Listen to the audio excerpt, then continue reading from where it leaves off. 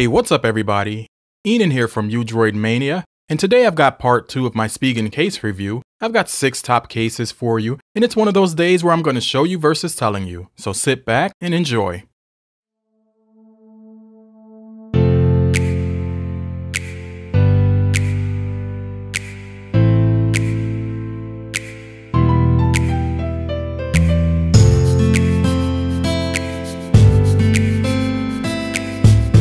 First up, we've got the Slim Armor, so let's go ahead and take the tour.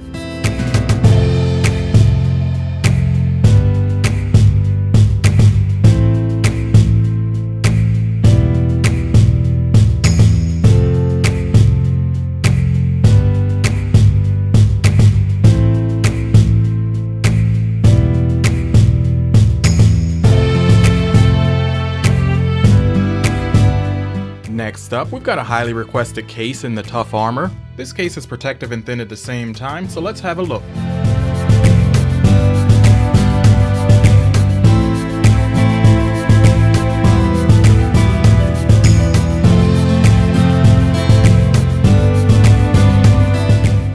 Next up, we've got the Ultra Hybrid S, and I'll just say from the beginning that Spigen's finally improved their kickstands.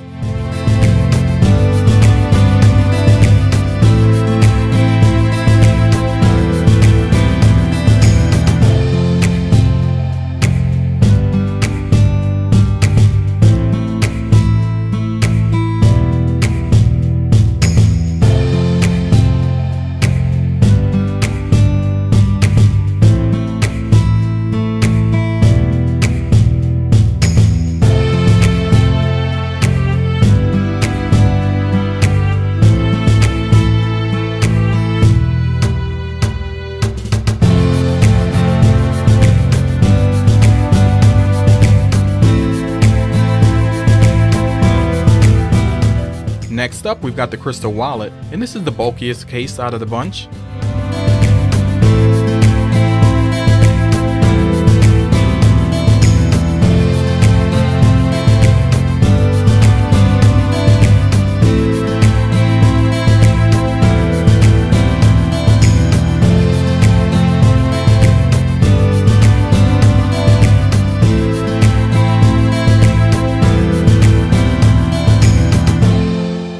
Next up, we've got the Wallet S for all us professional folks out there.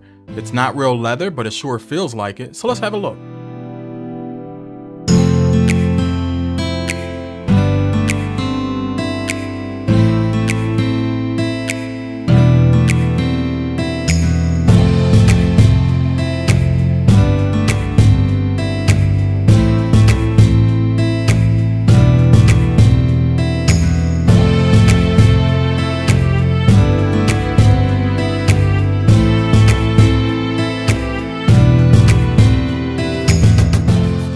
Finally, we've got the Rugged Armor. Now this one's like a Spigen classic, so if you haven't seen this case, make sure that you check it out now.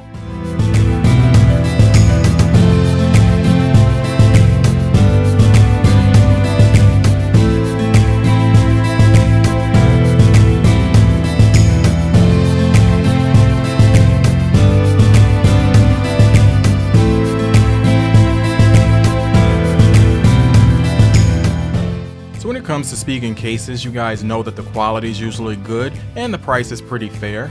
All the links are down below if you're interested, so go and check them out. Okay, so there you guys have it. What do you think of these six cases from Spigen? For me, they're a go-to brand. I've been using Spigen for a number of years. I always know what to expect in terms of quality, function, and fit. So for me, these cases are tested, tried, and true. With part 2 of this series, we now have looked at 10 cases by Spigen, so if you're interested, the links are down below.